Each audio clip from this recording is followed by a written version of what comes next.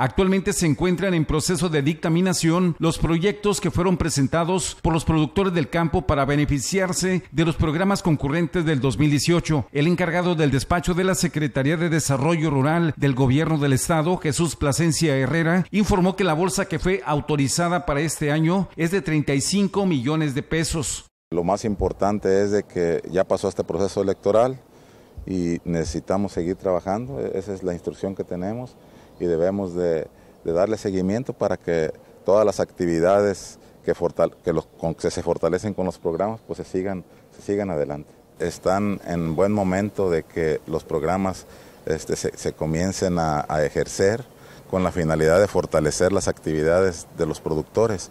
Comentó que los programas de apoyo al campo no se detuvieron por las elecciones. Apenas estamos ahorita en el proceso de dictaminación y inmediatamente después de que se dictamina, pues se, va siguiendo el proceso que, el programa indica. ¿De cuánto es la bolsa?